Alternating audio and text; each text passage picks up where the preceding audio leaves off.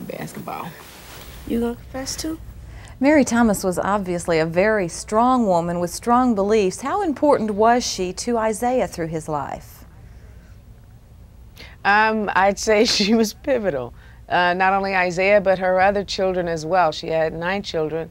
Um, I, I'm sure that he would say she single-handedly is um, responsible for him getting through school, through his childhood and into adulthood.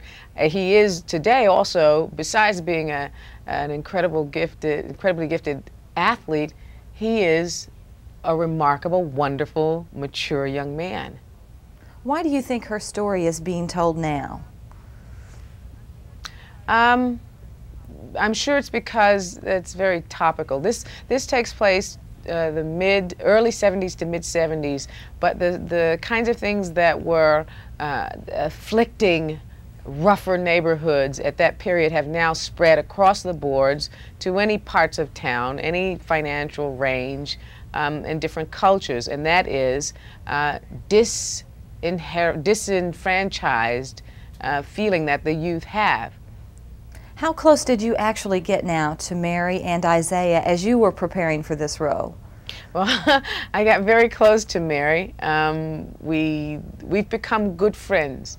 Uh, as a matter of fact, um, she's in town and I'm making dinner for her tonight ah. to pay her back for the countless times that she made dinner for me. We sat, we talked together a lot. And um, I, but I didn't meet Isiah until a week into our shoot. And I had already done preparation before that. So by the time I met him, I, I had a very queer feeling that Isiah was my son, although I knew I wasn't old enough to have a son that big. Yeah, well, you're a two time Emmy Award winner. What really brought you to this role? What appealed to you about it?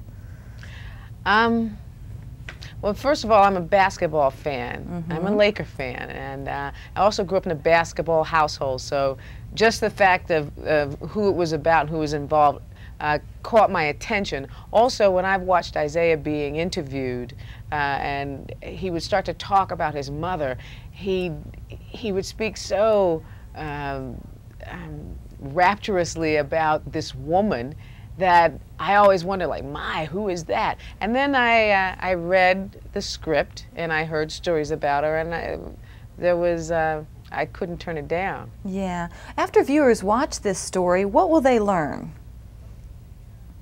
Well, you know, hopefully, uh, you know, our show is a little more complex than just obvious something to be learned from it. I think people get from watching any any project what they bring to it.